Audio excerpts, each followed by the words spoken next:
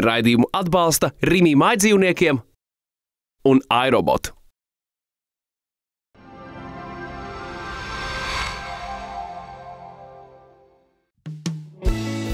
Es tevi nepazinu agrāk no tavas patiesības šķirts. Paldies, ka ļāvi sevi sastapt un roku likt uz tavas sirds.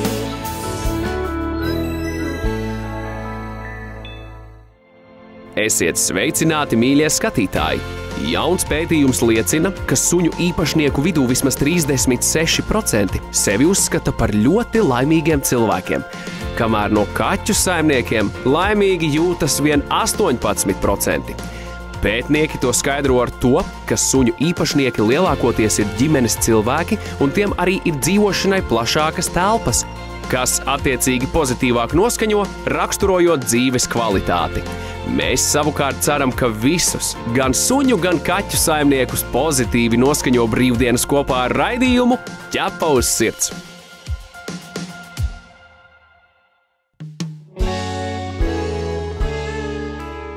Šodien raidījumā skatieties, kā sterilizācija var izglābt suņa dzīvību.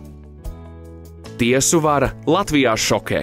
Dzīvnieku slepkavām piespriež vien piespiedu darba stundas kas pārliecina jaunieti nomainīt pilsētas ritmu pret dzīvi laukos ar eksotiskiem zvēriem.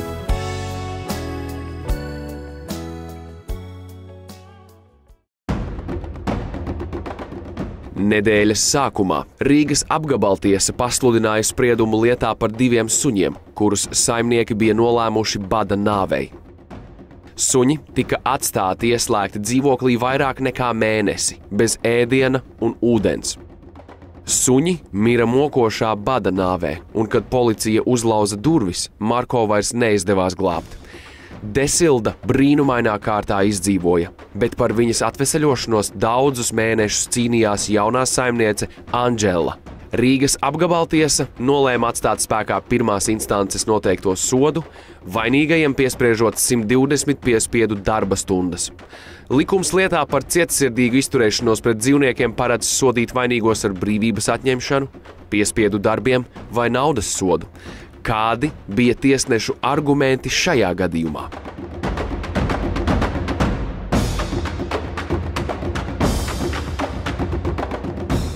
Tiesnesis šajā lietā uzskata, ka tika vērtēts noziedzīgā nodarījuma raksturs, kaitīgums un atbildību pastiprinoši faktori. Brīvības atņemšanu var piemērot tikai tad, ja soda mērķi nevar sasniegt ar citiem soda veidiem. Jo brīvības atņemšana principā ir visbargākais krimināla likuma sots. Apsūdzētie jauns pāris savu vainu tiesā atzina, lūdzot nepiemērot brīvības atņemšanu, jo abiem jāuztur un jāaudzina pēdējos gados radīti četri bērni. Kamēr sieviete auklēja mazo zīdainīti, kādā citā dzīvokļu mājā mokošā nāvē mira viņas divi suņi. Vai cilvēkam ir iespējams vienlaicīgi būt apzinīgam un atbildīgam pret saviem bērniem un vienlaicīgi ignorēt dzīvnieka ciešanas?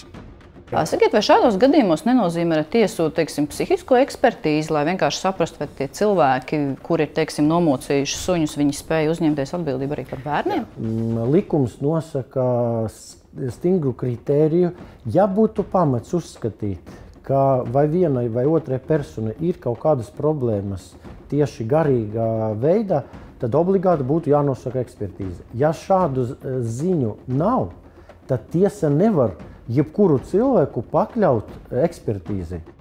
Tiesnesis sadusmojas, kad salīdzina bērnu ar dzīvnieku. Nevar salīdzināt dzīvnieku ar cilvēku, cilvēku ar kaut ko citu. Un vēl jau vairāk, ja mēs runājam par kriminālu atbildību, tad viens no obligātiem, ko mums prasa visa pasaule, nu, kur attiecīgi atzīst cilvēku tiesības, sots tiek noteikts individuāli iziet no lietas apstākļiem. Ja mēs uzskatītu sabiedrība, kā arī dzīvnieka boja gāja, gājas gadījumā, ir tikai brīvības atņemšana, tad jāiet jums pie deputātiem, un lai viņi tā ieraksta likumā. Deputāti, likumdevējs šodien dzīvniekus nenoliek blakus cilvēkam. Atšķirīgi soda veidi. Nu, pagrābs lapas, nu, kas Nu, tur kāpēc lapas darbi ir dažādi? Nu, arī lapas, nu, ja viņa mētājas un pašvaldība nesavāca, kas tur slikts, ja sakārtos teritorijā. Es zinu, ka piespiedu darbus e, izpilda arī slimnīcas, kad iet un palīdz cilvēkiem. Šajā gadījumā varbūt būtu jēdzīgi piespiedu darbu aizsūtīt uz e, dzīvnieku patversmi. Arī tas ir iespējams. Saskaņā ar ieslodzījuma vietu pārvaldes datiem pēdējo piecu gadu laikā Latvijā par cietsirdīgu izturēšanos pret dzīvniekiem notiesāti 37 cilvēki. Piespriestie sodi, piespiedu darbs un naudas sots. Reālu cietumsodu izcietuši astoņi cilvēki. Cietumsoda apmērs no 1 līdz 12 mēnešiem. Tiesnesis uzskata, ka jebkurš cilvēks var kļūdīties un viņam jādod tiesības laboties.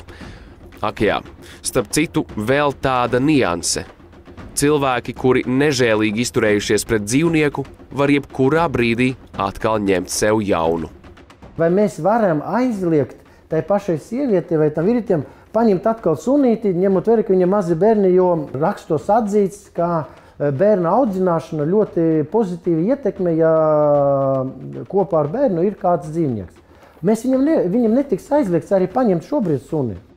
Šī gada martā gaidāmā tiesas sēde suņa ričī lietā. No gados vecā suņu, kad tās saimnieki bija izlēmuši atbrīvoties to nositot. Suns tika spārdīts, žņaukts, zaudējis arī atstiņu. Suns izdzīvoja un vainīgais nodots tiesai. Neoficiāli zināms, ka prokurors pieprasīs cietumsodu. Bet vai Deizijas lietā viss ir beidzies?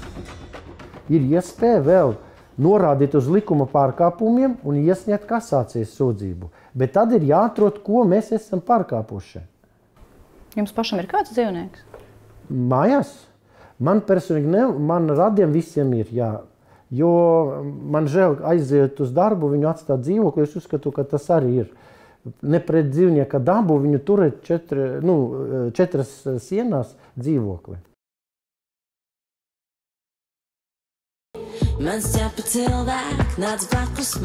Lielo kaķu zēnu rausi kāds cilvēks atstāja patvērsmē ar vārdiem: Dariet ar viņu, ko gribiet, es viņu atradu slimu.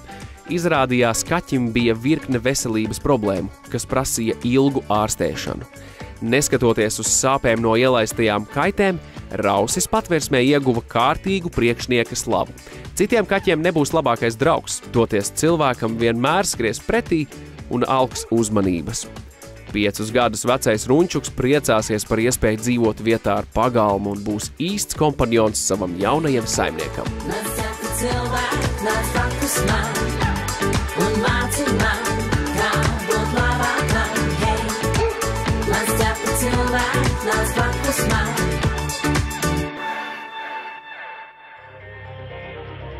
Saimnieki, kuri nekastrē savus suņus dzīvojošus pagalmā vai sētā, bieži sastopas ar faktu, ka suns aizmūg prom no mājas. Tā sunim liek darīt vairošanās instinkts. Sajūtot kucīti pat vairāku kilometru attālumā, suns skrien pie viņas. Ja sunim noveicas un tas atgriežas mājās, visticamāk, ka pēc dažiem mēnešiem atkal kādā Latvijas sētā dzims daudzi nevienam nevajadzīgi kucēni, ar kuriem vēlāk būs pilnas dzīvnieku patvērsmes.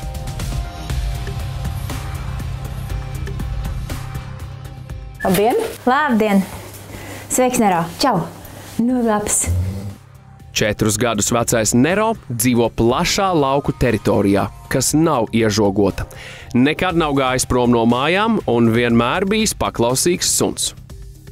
Es biju kaut kur dzirdējusi, ka vajag pielikt viņu pie pavadiņas un tad iziet ar kopā ar to kucēnu pa visu teritoriju, it kā nospraužot robežas, cik tālu viņš drīkst iet. Un tas visu laiku darbojās. Tomēr kādu dienu Gunita suni pagalmā neatrada. Kaimiņi pastāstīja, ka Nero esot aizgājis ciemos pie viņu kucītes un pēc tam devies tālāk, līdz pārradās mājās ar sašautu galvu. Mēs nezinām, kas tieši sunīti sašāva, bet pieļauju, ka vienkārši cilvēki mēģināja viņu kaut kā aizdzīt no savām mājām. Varbūt viņš bija agresīvs svešā sētā. Un, protams, ka tas ir liekas nepieļaujami, bet katrs cīnās droši vien kā prot. Lodīte bija tieši, tieši virs acis, mazās skrots, bet viņa varēja trāpīt arī centimetru zemāk, un viņš varēja zaudēt redzi ar vienu aci. Tāpat Nēro arī ir sakots deguns, kas norāda to, ka viņam ir bijis cīniņš vai no ar tajā mājā esošiem suņiem, vai arī ar kādu citu uh, su, suni, kurš arī ir devies tādos pašos meklējumos. Anete Kalniņa, certificēta veterinārā ārste.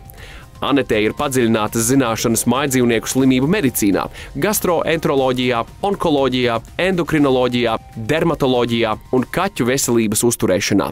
Rimī maidzīvniekiem eksperte. Nero gadījums ir skaudra realitāte daudz vietā laukos, kur cilvēki suņa kastrāciju tāpat kā čipēšanu uzskata par pilnīgi nevajadzīgu kur neplānoti kucēni ir norma, un pie nesterilizētām kucītēm sēdošs suņu bars liecina par instinktīvu vēlmi radīt pēcnācējus.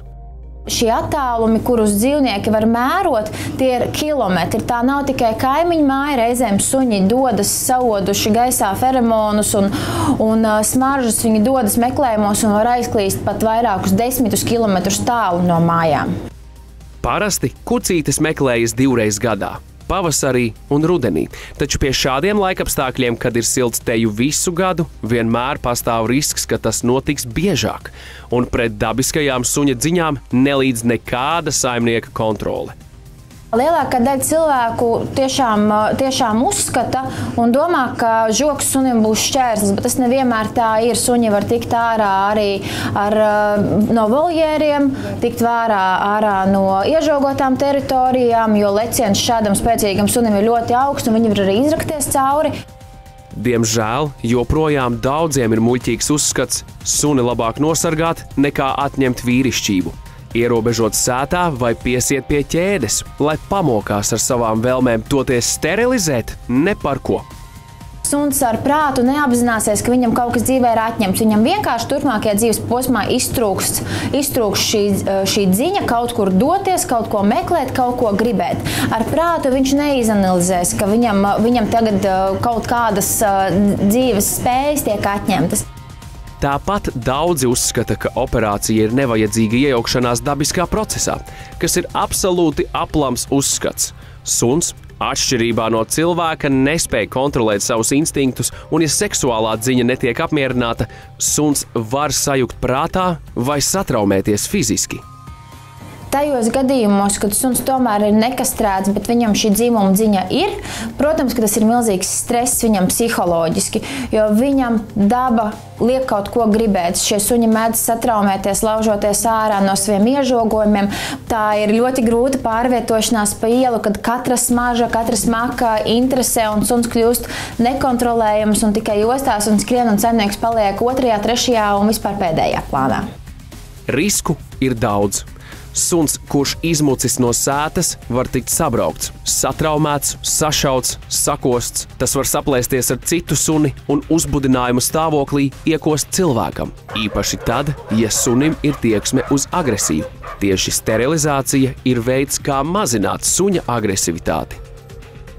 Ir tiesa, ka dzīvnieks varētu kļūt mazāk agresīvs, bet tas nenozīmē, ka viņš vairs nesargās savu māju, savu teritoriju, ka viņš kļūs pēkšņi slings vai apātisks. Nē, suns tik un tā būs dzīvespriecīgs, suns uh, būs tāds pats suns, bet iespējams mazināsies šī agresija. Tāpat cilvēkiem ir bail, ka suns pēc kastrācijas pieņemsies svarā. Arī to kontrolē saimnieks, dozējot porcijas un neatstājot barību sunim pieejamu visu laiku. Iespējams, sunim būs jāmaina diēta un jāsamazina norma, bet suni taču baro saimnieks. Kastrācijai ir arī vairāki veselības ieguvumi. Pirmkārt, mēs izslēdzam to, ka viņam varētu būt sēklnieku audzēji, kurus veciem dzīvniekiem mēdz novērot. Tāpat arī samazinās risks, ka būs problēmas ar prostatu, piemēram, prostatas hiperplāzija vecumdienās, kas var viņam apgrūtināt gan urinācijas procesu, gan defekācijas procesu un ļoti, ļoti ietekmēt dzīves kvalitāti. Maza un vidēja izmēra suņus iesaka kastrēt no sešu mēnešu vecuma, bet lielos un gigantiskos šķirņu suņus pēc gada vecuma. Galvenais kastrācijas ieguvums, par ko iestājas visi dzīvnieku glābēji, samazinātos bezsaimnieku suņu vairošanās mūsu valstī, kurā šobrīd ir milzīga dzīvnieku pārprodukcija. dzīvnieku patvērsmēs katru gadu nonāk teju desmit tūkstošu pamestu kaķu un suņu.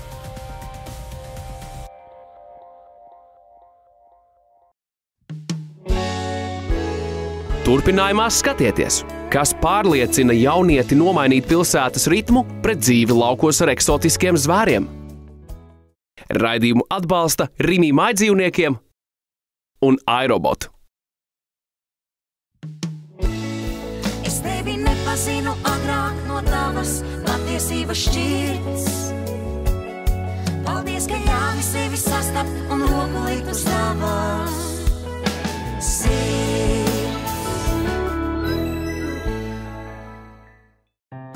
Hei! Jauns gads sācies ar jaunu video konkursu un vērtīgām balvām.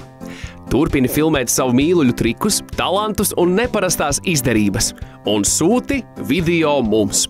Kā nosūtīt video? Skaties mūsu mājaslapā ķepa uz sirds LV. Sūti savu video mums un iegūsti lielisku balvu - Aerobot Rumba 980. Tas savāc spalvas, putekļus un smiltis, īpaši viegli lietojams un arī kopjams. Aerobot - tīras grīdas katru dienu. Man dāņas, man dāņas, man dāņas. Masāža Edvardam taisa pērle. Pērle. Jūtos kā neliek. Nē, nē, es nelieku. Jau kādreiz pieaugusi sieviete, kura mīl savu pusi un vēlas viņu. Pērle. Viņš teica, kur tu dodas?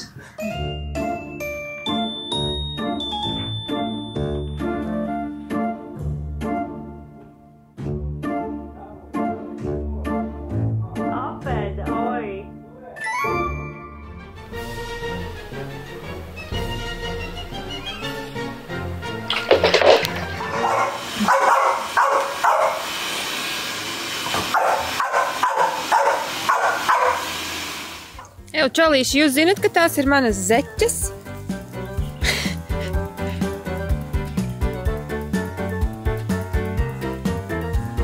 Cienītie!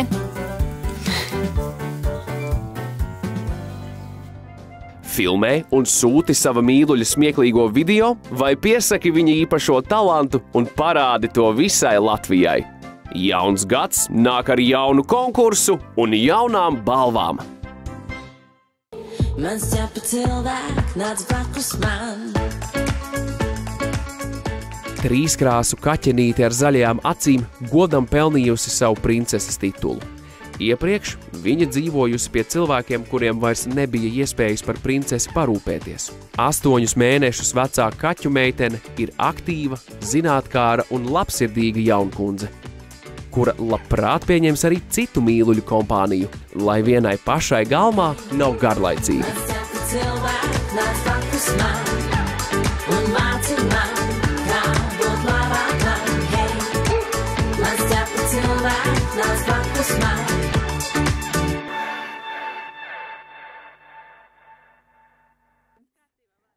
Miki, Miki, Miki, Miki, Miki. Nākat, ķepa uz sirdi klāt. Nākat, nākat, nākat, nākat. Par ko domā jaunietis, kurš tikko pabeidzis vidusskolu? 19 gadus vecajam Digim Dreimanim ir visai neparasti sapņi. Lama, kukurūzas zalktis un nebeidzami burkānu krājumi viņa mini-zoo iemītniekiem.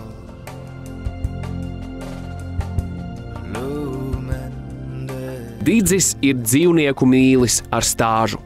Pirmajā klasē viņa iemīļotā vieta bija zooveikals. Tur viņš vēroja kustoņus, izprašņāja pārdevējas, līdz kādu dienu no veikala pārradās mājās ar divām zivtiņām. Pēc tam zivtiņām, tam man bija kāmītis. Tad jau man nāca gūta, man bija žurkas, tad man nopirka lielāku akvāriju, tie bija 100 litru akvārijas, un tā aizgāja, aizgāja, aizgāja. Un tad vienā brīdī es sapratu, ka tā māja, lai arī cik viņa ir liela, viņa paliek pa mazu. Un vajag pāriet kaut kur ārā no tās mājas ar tiem visiem zvēriem. Kuplajam pulciņam pievienojās cāļi un truši. Vēlāk ieradās arī cūkas, zirgi un kazas. Teritorija plaša un vietas pietiek, bet vai dēla aizraušanās ar dzīvniekiem bija paprātam arī mammai un tētim? Mani vecāki vienmēr ir piekopuši tādu audzināšanas metodi. bērnam neko nepiespiest, bērnam neko neaizliegt, jo paša pieredze ir vislabākā mācība. Un, uh, Tāpēc man nekad nekas nav aizliegts. Protams, es nesaku, ka māte vienmēr ir bijusi pārlaimīga par to, ka man ir visi tie dzīvnieki. Bet nu, nekad tā nav bijis, ka man pasaka, nē, tu to nedrīksti. Tas arī ir iemesls, kāpēc tagad man visu kā ir tik daudz. Ar savu domāšanu Digis vienmēr atšķīrās no vienaudžiem. Viņš labprāt izvēlējās dzīvnieku, nevis cilvēku kompāniju, jo nevienmēr varēja atrast labus sarunu biedrus savā vecumā. Es zinu, ka parasti skolā meitenes, oi, tev mājās ir mazi trusīši, mēs brauksim, skatīsimies, oi, tev ir kāmītis, un oi, tev, tev, tev ir šinšila, oi, tev ir dagū. Es vienmēr esmu domājis vecāk. Nu, tā, es ļoti labi kontaktējos ar cilvēkiem, kuriem ir 25, 27, 30 gadi, bet man ir ļoti grūti kontaktēties ar cilvēkiem, kur, kur ir manā vecumā. Man tagad ir tūlīt būs 20 martā prasme komunicēt un ieklausīties pieredzējušu cilvēku padomos, palīdzējusi Digim izveidot savu mini-zoo. Tas atklāts pagājušā gada maijā.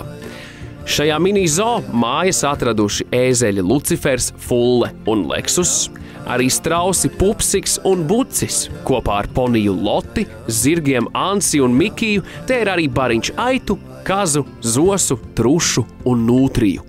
Krāšņākais jaunpienācējs ir Lama Rastrelli.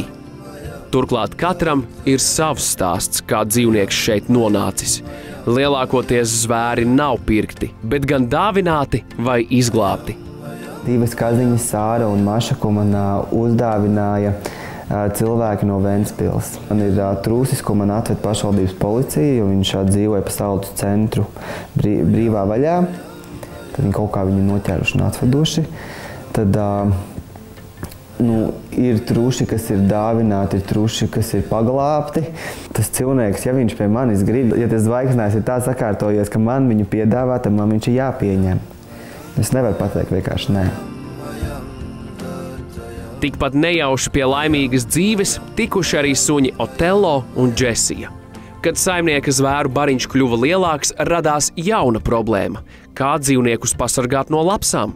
Internetā Digis uzgāja sludinājumu ar diviem takšu kucēniem Kazdangā un, kā izrādījās, izglāba tiem dzīvību. Viņa man tagad atved uz saldu to puisīti, un, un viņa man tur paprasīja kaut kādu simbolisku samaksu par viņu, un es redzu, ka uh, viņai tur tajā mašīnā ir meitenīte. Un es uh, viņai prasu, kur brauks tas sunīts, viņa tā bērniņu uz jūras skolu. Un es tā pilnīgi tā apstājos, Un es tādu, nē, nē, nē, es viņu varu lūdzu paņemt sev. Viņi iemet man to kucēnu klēpī un teica, ņem un ej. Taksīši par sarksuņiem nekļuva. Džesijai jo īpaši patīk atrasties saimnieka tuvumā, kur vienmēr var justies droši. Tādēļ mini-zoo apsardzes funkciju pilda zirgs Mikijs. Ja kaut kas minīzo noiet greizi, kāds izlaužās no žoga, kāds, kāds kaut ko nogāž, sagāž, kāds kaut ko izdara, viņš uzreiz stāv pie žoga malas un zviedz, var teikt, kas sauc mūs. Turklāt Mikijam darbs ir bieži. Lai vai kāds būtu žoks, dažkārt gadās, ka mini-zoo iedzīvotājs izmūk ārā. Un, ja tas ir strauss, kurš jož uz meža pusi ar 70 km/h, stress ir pamatīgs. Sēžu virtuvē, noskrien no otrā stāva tēvs un saka, tas ir tavs strauss. Es saku, kur? Viņš saka, te uz lauka pie meža. Es tā pastos, nu jā, nu citas strausam tam nevajadzētu būt. Par laimi, Digim ir labi kaimiņi, kas vienmēr paziņoja, kāds dzīvnieks ieklīdis svešā sētā. Nu, laukos jau visi visu zina. Tas ir tie, tāpēc, jau tie ir lauki. Pilsētā, tā, kad es Rīgā dzīvoju, es nezināju, kas man dzīvo pretī pa labi, pa kreisi un virs, virs manis un zem mani. Dzīvnieku mīlestība ir tikai viena puse, otra ir bizness. Lai kaut kas izdotos, dīdža formula ir vienkārša. Kripatiņa nekaunības, sauja harizmas, spēja pārliecināt, un visam pa virsmu dziļa mīlestība pret to, ko dari. Un, ja cilvēki mēdz pievilt, tad ar silavu iemītniekiem viss ir vienkārši. Par nevienu cilvēku nevar garantēt, ka viņš būs uzticīgs tev līdz mūža galam ne par savu otro pusīti, ne par savu, savu labāko draugu.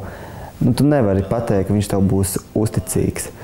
Bet par savu suni es varu garantēt, ka viņš man nepametīs līdz savam mūža galam. Viņš nekad nepievils, nekad neaizvainos. Un tas ir tas, kas man dzīvniekos visvairāk patīk. Tāpēc es labāk arī komunicēju ar viņiem nekā ar cilvēkiem.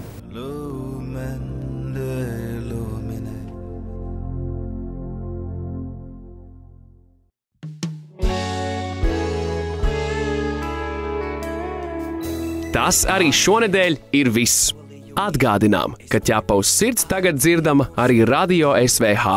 Katru svētdienu, 11. no rīta, tiešajā ēterā. Jaunas tēmas, konkursi un vērtīgi padomi no dzīvnieku ekspertiem. Tiekamies jau nākamnedēļ! Atā!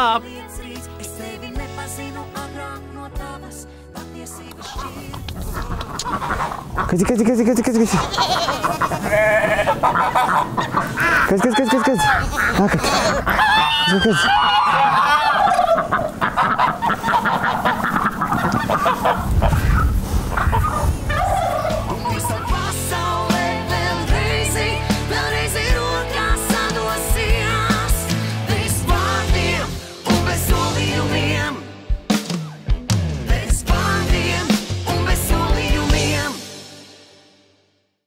Raidījumu atbalsta Rīmī mājdzīvniekiem un iRobot.